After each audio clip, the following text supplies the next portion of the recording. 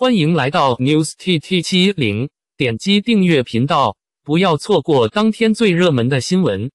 杨紫参加线下活动，被粉丝当众喊老婆。杨紫抗议：“我还没结婚。”一十一月一十二号，刚过完二十九岁的生日的杨紫现身深圳参加活动。杨紫提前一天抵达目的地，这是杨紫迈入二十九岁的首个线下活动。虽然快到而立之年。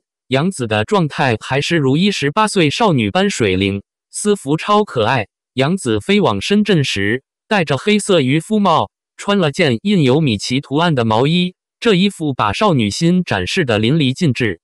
不过，出席活动的杨紫一改私服的可爱风格，走起成熟知性风路线。只见杨紫穿了一件没有任何修饰的白衬衫，干净利落，衬衫袖口设计比较特别。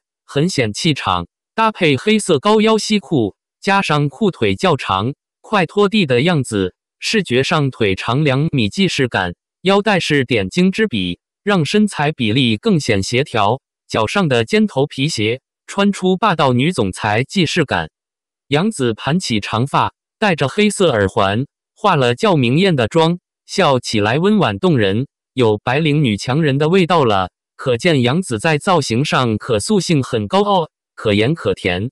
再看看现场生图，杨紫的状态跟精修图没差别，五官精致，脸颊也满满胶原蛋白，hold 住各个角度。二十九岁的杨紫还是元气少女。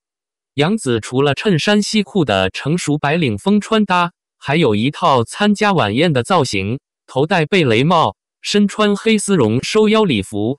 妥妥的富家小姐感觉，有点复古，也有点贵气，好看极了。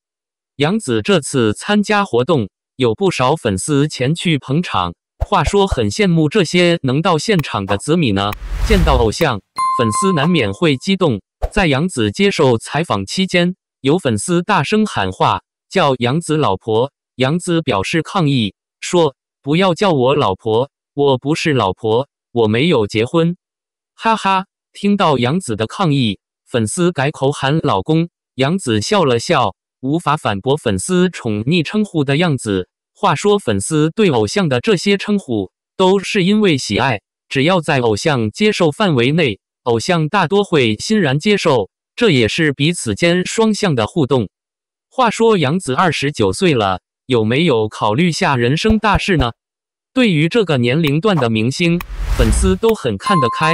会希望自家偶像可以觅得良人，有幸福的感情生活。不过看杨紫的状态，还是打算再拼一拼事业呢。这两年并没有感情新动向，不管现阶段如何选择，都祝开心哦。感谢您观看视频，如果您觉得本时事通讯有用，请不要忘记点赞、评论和订阅。祝您生活愉快，充满活力。